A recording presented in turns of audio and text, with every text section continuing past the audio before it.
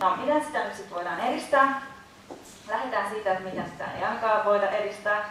Eli tämä nykyinen hyvinvointivaltio, sen lisäksi, että okei, me kritisoidaan sitä, että sitä on purettu ja leikattu, ja kun se silloin aikanaan rakennettiin Pekka Kuusen 60-luvun sosiaalipolitiikan ohjelman viitoittamalla tiellä, että se oli joskus 80-luvulla niin hyvä, ja sitten sen jälkeen se on sitä on ruvettu leikkaamaan, niin itse asiassa mä olen sitä mieltä, että se ei välttämättä koskaan ollut ää, tällä tavalla riittävän emansipatorinen, vaan että sen hyvinvointivaltion tehtäväksi on aina asetettu, kun lukee sosiaalipoliittisia ohjelmia, niin myös silloin 60-luvulla niin sille on asetettu kaksi tehtävää, sen pitää tukea ihmisten niin työkykyä tai työmarkkinakelpoisuutta, niin kuin nykyään sanottaisiin, ja talouskasvua.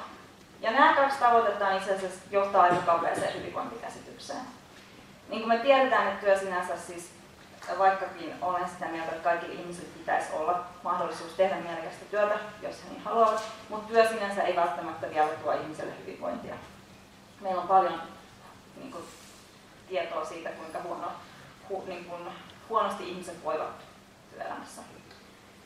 Toisekseen niin kun näitä täsmälleen samoja asioita osallisuuteen ja tekemistä voi tehdä myös jossain muualla palkkatyössä.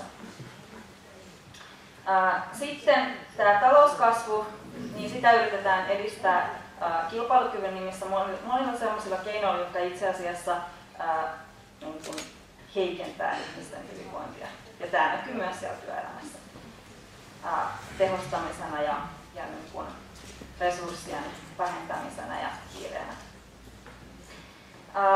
Sitten niin kuin te olette varmaan tuossa ennen lounasta puhuneet tästä tästä tota, talouskasvun tai niin tästä budjetti, hallituksen budjettiesityksestä ja kestävyysvajeesta ja tämän tyyppisistä kysymyksistä, niin, niin tosiaan on hyvin kyseenalaista, että ovatko nämä tervehdyttäviksi väitetyt leikkaukset itse asiassa sen lisäksi, että ne on hyvinvoinnin kannalta epätarkoituksenmukaisia, niin onko ne edes talouden toimintakyvyn kannalta tarkoituksenmukaisia? Että jos ajatellaan keinsiläisittäin, että investoinneista seuraa lisää kulutuskysyntää ja sitä kautta talouskasvua, niin näin ollen tämä leikkauspolitiikkahan ei sitten itse asiassa johda siihen, mihin se väitetään johtavan. Sitten tosiaan tällainen, että ihmisiä sopeutetaan vaan kestämään sitten niin kuin sitä elämän kurjuutta ja sitä, että meillä nyt on tämä kilpailukyky ja tämä globaali epävakaa talous ja nyt teidän täytyisi vain jotenkin sitten niin kuin sovittaa itsenne, jotta te pärjäätte siellä. Niin tämähän, tässä ei ole niin mitään emansipatorista tällaisessa sosiaalipolitiikassa.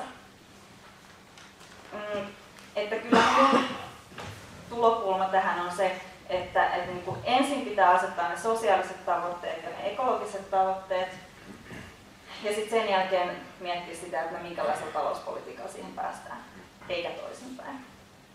Ja sitten tosiaan se, mitä niin kuin on tehty, niin leikkauksilla on sitten heikennetty niiden työntekijöiden hyvinvointia. Ja jos me ollaan kiinnostuneita ihmisten hyvinvoinnista, niin täytyy muistaa, että myös ne työntekijät ovat osa sitä yhteisöä, jonka hyvinvoinnista meidän piti olla kiinnostuneita. No, se mitä pikemminkin pitäisi tehdä, niin hyvin lyhykäisesti. Ensinnäkin meidän pitäisi tarjota niitä palveluita kaikille meidän pitäisi luopua siitä priorisoinnista ja siitä ajatuksesta, että joku toimistovirkailija jossain tiskin takana voi sanoa jollekin ihmiselle, että sä oot nyt meidän prioriteeteissa, niin kuin, joo, että kyllä sä saat niin aina sosiaalityöntekijälle, mutta sä saat nyt tämän lomakkeen täydessä ja tuu kahden viikon päästä hakemaan päätös. Eli tämmöisestä täytyy niin kuin ehdottomasti luopua. Siis jokaisen ihmisen kanssa, jos me halutaan tarjota palveluita, niin hänet täytyy niin kuin kohdata ja hänen kanssaan täytyy keskustella ja sen keskustelun täytyy niin kuin noudattaa jotain, jotain niin kuin tällaisia periaatteita, mitä, niin kuin, mitä mä siinä semmoisessa dialogisessa vuorovaikutuksessa yritin niin hahmottaa, että siinä yhdessä prosessoidaan sitä tilannetta. Ja tämähän ei ole mahdollista, jos niin kuin asiakas jaetaan johonkin segmentteihin, että nämä on niin kuin liian hyvä kunto, siinä on liian huono kunto, mitkä on siis tavata, tavataan vaan tämä keskiporukka tästä näin. No sitten tosiaan, jotta ne palvelut, niin kuin, jotta voidaan unohtaa tämä priorisointi ja oikeasti tarvita palvelua kaikille, jotka ilmoittavat, että he nyt haluaisivat keskustella jonkun kanssa tai ää, saada palvelua, niin silloin meidän täytyisi tietenkin kyseenalaista, että, että miten me resurssoidaan palvelut. Eli pitäisi luopua tästä kestävyysvajeen perusteella tehdyistä niin kuin, ää, pyrkimyksestä sovittaa se palvelujärjestelmä johonkin ulkopuolelta annettujen, annettuihin kehyksiin. Ja sen sijaan niin budjetoida sen mukaan, mikä on niin se sosiaalinen tarve kussakin kunnassa. No sitten tosiaan sen pitäisi olla tähdätä niin tähän kokonaisvaltaiseen hyvinvointiin, eikä vaan pelkästään siihen, että yritetään lisätä ihmisten työkykyä ja työmarkkinakelpoisuutta. Sitten sen tuotannon pitäisi olla just tällä tavalla osallistava ja demokraattista, että, että ensinnäkin niitä asiakkaita ihan jo pelkästään siinä niin kuin kussakin yksittäisessä palvelutilanteessa, kun he tapaavat sen työntekijän, niin heillä pitää olla lähtökohtaisesti se osallisuus siinä, koska hehän ovat se, niin kuin siellä mukana määrittämässä sitä palvelutarvetta.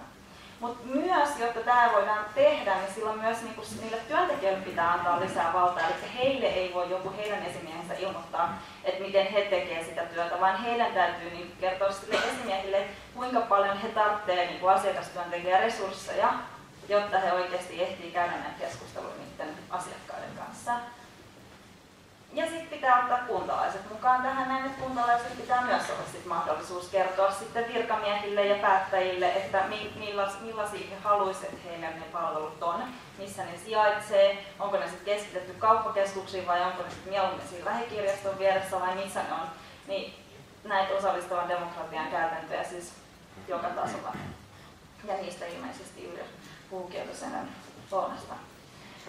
Um, ja sitten tosiaan sen sijaan, että meillä on sit sitä äh, asiakkaiden juoksuttamista, niin kuin, juoksuttamista luukulta luukulle, niin sen sijaan meidän pitäisi ymmärtää, että se kunta, kun se järjestää niitä palveluita, niin siis se on yksi kokonaisuus ja semmoinen osaoptimointi eri virastojen ja eri yksiköiden välillä, niin se ei siis palvele sen kunnan kokonaisetua, eikä se tietenkään palvele sen asiakkaan etua, koska siis yksittäinen ihminen, niin eihän hänen elämänsä voi pilkkoa sellaisiin osiin, joista sitten jokainen katsoo vain tiettyä viipaletta, vaan siis täytyisihän se niin muodostua, jos siis muodostaa todellinen kokonaisuus. Ja se, mikä niin kuin on todellakin omiaan tuottamaan niin tätä pilkkomista, niin on noin markkinamekanismit. Mä menen kohta niihin, millä kaikilla tavoilla markkinamekanismi todella epäonnistuu tämän tyyppisen hyvinvoinnin edistämisessä. No se yksi, mihin nyt yleensä perustellaan se, että missä säästetään kustannuksia, mutta siis tätä ei kyllä ikinä, niin kuin, ei ole uskottavasti voitu todistaa tutkimuksessa, että yksityinen tuotanto olisi halvempaa. Ää, pikemminkin voidaan havaita, että näistä kilpailuttamisesta seuraa lisää byrokratiaa ja myöskin aika paljon oikeustapauksia, kun sitten eri kilpailutuksiin osallistuneet palveluntuottajat on sitten ruvennut riitauttamaan näitä päätöksiä. Eli näiden kaikkien transaktiokustannukset, jos saataisiin laskelmia jotenkin mukaan, niin havaittaisiin kyllä, että, että siitäkin seuraa aika merkittäviä kustannuksia. No sitten ähm, se, että jos joku ilmoittaa tuottavansa, nyt sanotaan vaikka tämä vammaispalvelu on halvemmalla kuin joku kunta sen tällä hetkellä tekee, niin siitä pitäisi pystyä myös määrittelemään se, että onko se oikeasti se palvelun sisältö ja sitten työntekijän työehdot, niin onko ne sitten, niin pysyykö ne samassa, samalla tasolla kuin aiemmin. Koska sitten on esimerkiksi käynyt niin, että työntekijöille yhtäkkiä maksetaan 30 prosenttia pienempää palkkaa, sanotaan heille, että ota päivä. No tämä on kunnan näkökulmasta niin halvempaa, mutta onko tämä oikeudenmukaista? Niin ei. Mutta tota, Tosiaan niin tämä vertailu niin kuin yksityisen ja julkisen ää, tuotannon kustannusten välillä on todella todella vaikeaa. Ja, ja niin kuin erittäin niin kuin, paljon syytä kyseenalaistaa se, jos joku sanoo, että tämä tulee halvemmaksi. No sitten se, että pystyykö yksityinen tuottamaan niitä jotenkin, tai kilpailutettu taho, voihan se sitten tietenkin olla, että se kunnan omakin yksikkö sen sitten voittaa, mutta pystyykö se sen kilpailuttamisen myötä niin sit jotenkin motivoitumaan tekemään parempaa työtä ja niin jotenkin vaikuttavampaa? No, tätähän ei itse asiassa ole tutkittu. Ainut tutkimus, mitä mä nyt Suomesta sitten tiedän, niin on toi Kangasharjun ja Kuntaliiton, siis Vakkin ja Kuntaliiton ja Kangasharjun johdolla toteuttama tutkimus, missä tutkittiin ikäihmisten palveluasumisen vaikuttavuuden huomioon ottavaa tuottavuutta yksityisen ja julkisen välillä. Ja havaittiin, että ihan niin kuin sama, sama juttu kävi niin kuin molemmissa, että jos ruvettiin lisäämään niin kuin tuottavuutta, niin silloin myös vaikuttavuus heikensi, heikentyi. Eli siis toisin sanottuna, jos niin pienennetään niitä kustannuksia, niin se palvelu tuotetaan, saadaan huonompia tuloksia. Ja yksityinen, niin kuin, yksityiseltä kävi ihan samalla tavalla kuin julkisella puolella. Tämä, että saadaan niin kuitenkin parempaa kilpailutuksen myötä, niin saataisiin jotenkin parempaa palvelua, niin sekään ei näytä kyllä niin tämän valossa pitää paikkaansa. No sitten tämä henkilöstön hyvinvointi on aika tärkeä asia, koska siis henkilöstön äh, kuormitus vaikuttaa väistämättä sen palvelun laatuun. Ja tosiaan äh, tutkimusten mukaan tiedetään, että, että niin kuin henkilöstön kuormitusta selittää se asiakastapausten kuormittavuus, että se kuinka vaikea hoitosi ikään kuin asiakkaat on ja sitten se koettu kiire. Ja koettua kiirettä selittää henkilöstön mitoitus, johtamisen koettu oikeudenmukaisuus, työn itsenäisyys. No, onko nämä sellaisia asioita, mitä niin kilpailutuksessa kohteessa niin paranee vai huononee nämä asiat? Yleensä sieltä niin leikataan henkilöstömitoitusta ja yleensä siellä standardoidaan sit sitä palvelutuotantoa sille, että työn itsenäisyys menetetään. Ja sitten se valinnanvapaus. Um, ensinnäkin ne markkinat ei toimi sillä tavalla, että, että se palveluvalikoima nyt siitä juurikaan niin kuin paranisi. Että, että palvelu, niin kuin hyvinvointipalvelut nyt on sellaisia, että, että tota, niiden, niiden tuotannossa on niin kuin kokemusten mukaan käy väistämättä niin, että sieltä niin kuin pienemmät yritykset karsiutuu sieltä markkinoilta pois, sitten ne on muutaman suuryrityksen vallassa, jotka tekee sitten lastensuojelulla bisnestä. Sitten samalla niin kuin, tämä vähentää siis sekä kunnan valinnanvapautta näissä palveluiden tuottajien valinnassa, mutta myös tietenkin yksittäisten ihmisten, että sitten jos niin kuin asiakkaille annetaan joku palveluseteli, että mene tämän kanssa tuonne ja valitse itsellesi kivan paikka hoitaa nyt joku, joku tota, asia, niin, tota, niin ei heilläkään sitten ole sen, välttämättä sen enempää niitä tuottajia, jotka voisi vois, niin näitä käydä näitä tota, palveluita sitten kokeilemassa ja testaamassa, että kuka niistä nyt olisi kiva. Ja sitten toisekseen ihmisillä ei myöskään ole täydellistä informaatiota siitä palvelu, omasta palvelutarpeesta, että, että kun puhutaan erilaisista sosiaalisista ongelmista, niin aika vaikea siinä nyt on itse sitten ilman, että voi tosiaan prosessoida sitä sen ammattilaisen kanssa, niin itse sitten itselleen niin diagnosoida jonkun asian, johon lähtee ostamaan jotain tiettyä Ja tosiaan näissä kilpailutuksissa liittyy sit näihin liittyy niin monenlaisia ongelmia, koska siis sitten kun on määräaikaisia ne sopimukset, niin nämä asiakassuhteet katkee. Um, se pitkäjänteinen asiakastyö ei välttämättä sitten ole mahdollista. Sen palvelutuotannossa sen kehitystyön tekeminen ei välttämättä ole kovin pitkäjänteistä, kun sitä tehdään sitten niinku sen mukaisesti, että miten voitetaan seuraava sopimuskausi. Ja tota, tosiaan monenlaisia ongelmia, mitä mä tosiaan aikaisemmin kävinkin läpi, niin liittyy tähän kilpailu, nimenomaan tähän kilpailutukseen. Ja sen takia mä päädyin tässä kirjassa esittelemään sitä, että sen sijaan, että me hoidettaisiin niin sitä palveluiden yhteistuotantoa kilpailuttamalla, niin meidän pitäisi palata siihen, että me tehdään ne sopimukset neuvotellen. Eli siinä ei ole mun mielestä mitään ongelmaa, että meillä on niin julkisia palveluita ähm, niiden rinnalla niin toteuttamassa tätä hyvinvointitehtävää, niin yksityisiä yrityksiä, järjestöjä. Mun mielestä siinä ei ole sinänsä mitään ongelmaa, kunhan ne toimii tiettyjen niin samojen hyvinvointitavoitteiden eteen ja oikeudenmukaisella tavalla. Mutta se tapa, miten me tehdään ne sopimukset kunnan ja näiden eri palveluntuottajien välillä, niin siinä on se ongelma. Sen ei pitäisi perustua kilpailuun, vaan sen pitäisi perustua niin kuin luottamukselliseen ää, vuorovaikutukseen ja niin kuin pitkäjänteiseen niin kuin toistaiseksi voimassa oleviin sopimuksiin. Ja näinhän me ollaan niin kuin aikaisemmin toimittu, että, että onhan niin kuin kunnalla aina ollut ostopalvelusopimuksia järjestöjen kanssa. Ja ei siinä ollut sinänsä niin mitään ongelmaa. Mun mielestä se ongelma tuli vasta siinä vaiheessa, kun ruvettiin noudattaa tätä markkinalogiikkaa, joka ei vaan todellakaan toimi tässä palvelujärjestelmässä. Ja tosiaan niin kuin, ä, valintakriteereinä pitäisi olla sitten hinta, hinnan ja sitten erilaisten laatupisteiden, mitä nyt sitten on myös käytetty, mutta jotka on usein aika pinnallisia, niin sen sijaan niin pitäisi kartoittaa, että onko siellä palveluntuottajilta yhteinen samanlainen ymmärrys siitä palvelun tavoitteesta sisällöstä, tähtääkö ne tällaiseen kokonaisvaltaiseen kollektiiviseen hyvinvointiin, onko ne palvelukäytännöt vaikuttavia, onko se tuottamistapa ekologinen, sosiaalinen ja taloudellinen niin kuin, tai kestävä? Näillä kriteereillä arvioituna, ja onko sillä myös yhteistyökykyä sit muiden palvelujärjestelmän toimijoiden kanssa, koska tämä on niin se yksi ongelma, että, että kun se ihminen on kokonaisuus, niin sitä pitäisi niin tarkastella yhdessä sit muiden palveluiden kanssa. Ja tällainen äh, mahdollistaisi myös näiden pienten palveluntuottajien osallistumisen, jotka nyt karsiutuu pois sieltä, kun ei, niille ei resurssit pitää monimutkaiseen kilpailuttamisbyrokratiaan.